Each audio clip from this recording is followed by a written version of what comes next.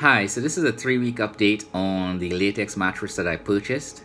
And um, just to give an overview, overview I had an, uh, an air mattress um, that I, with a, with a memory foam topper and a foam base. And I was starting to have joint issues and stuff recently uh, where it was starting to be severe. So, and constant. So I purchased the latex um, build yourself type thing. I forgot which website that I use, but it wasn't really expensive. Everything came up to like $710. Uh, considering what you would have to pay for it, pay for in a store, and it was 100% latex.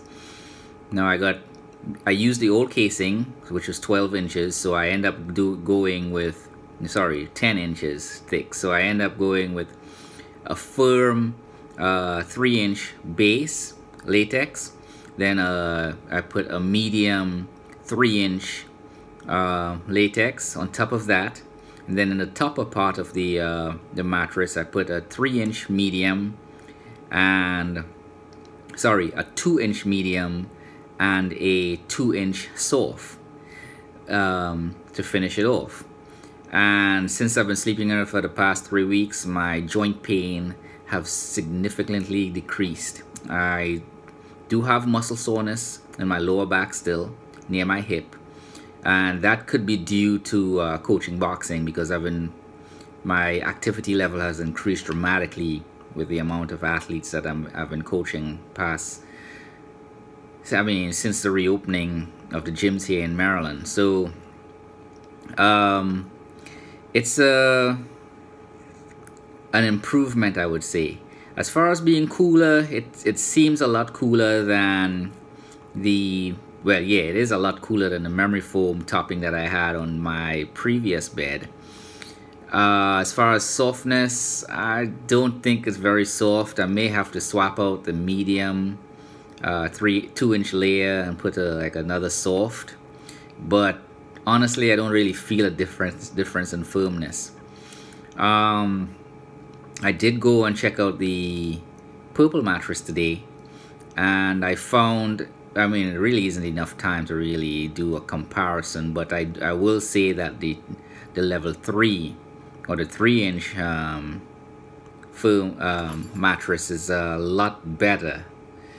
A lot softer I think than the 4 inch one and the 2 inch one and the 1 inch one um, I find I, that that one felt to be my preference.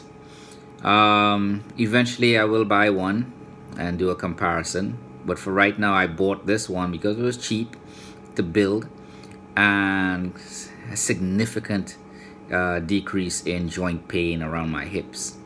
Um, I can roll around a little bit better. I, I still sleep on my stomach and I sleep fine.